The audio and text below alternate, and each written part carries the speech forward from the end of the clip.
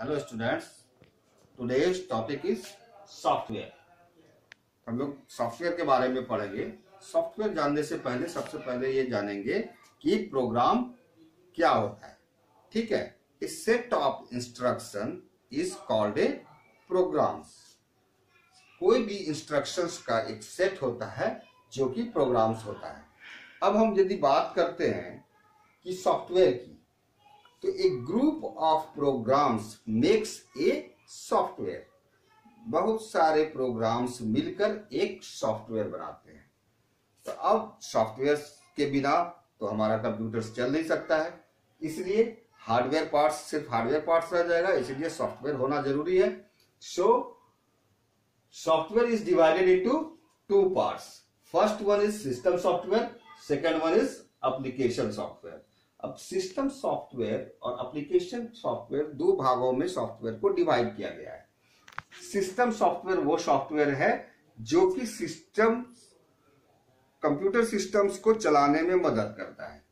जैसे इसका एग्जांपल हो गया, ये फर्दर थ्री कैटेगरीज में डिवाइड किया गया है सिस्टम सॉफ्टवेयर को operating systems language processors and utility software जो ऑपरेटिंग सिस्टम्स होता है, हम जानते हैं उसको ओएस कहते हैं जैसे Windows operating system Linux operating systems DOS operating systems Macintosh ठीक है? जो एप्पल का होता है मैक ओएस इसको कहते हैं, ये सब। Unix operating system language processor language processor का यूज़ क्या होता है? जब हम C C plus plus use करते हैं तो मशीन लैंग्वेज में कन्वर्ट करने के लिए प्रोग्राम्स को एक लैंग्वेज प्रोसेसर्स का यूज़ करते हैं।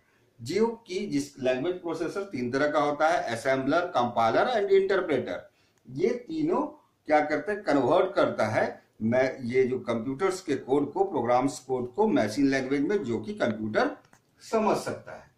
यूटिलिटी सॉफ्टवेयर यूटिलिटी सॉफ्टवेयर के अंतर्गत आता है कि कंप्यूटर्स के अंदर बहुत सारे यूटिलिटी सॉफ्टवेयर इनबिल्ट होते हैं। तो कौन कौन से सॉफ्टवेयर होते हैं? जैसे कि डिस्क क्लीनअप हो गया, ठीक है? चेक डिस्क हो गया डिफ्रेगमेंटेशन हो गया, ये सभी यूटिलिटी सॉफ्टवेयर के अंतर्गत आते हैं। तो ये ऑलरेडी सब सिस्टम सॉफ्टवेयर जब हम ऑपरेटिंग सिस्टम इंस्टॉल करते हैं तो यूटिलिटी सॉफ्टवेयर उसके अंदर आता है। यूटिलिटी सॉफ्टवेयर के अंतर्गत आपका कंट्रोल पैनल्स भी आ जाता है, जिसमें बहुत सारे छोटे छोटे यूटिलिटी सॉफ्टवेयर होते हैं। अब हम बात करेंगे सिस्टम सॉफ्टवेयर का तो हो गया अब आप एप्लीकेशन सॉफ्टवेयर की तो एप्लीकेशन सॉफ्टवेयर को फर्दर डिवाइडेड किया गया है दो भागों में।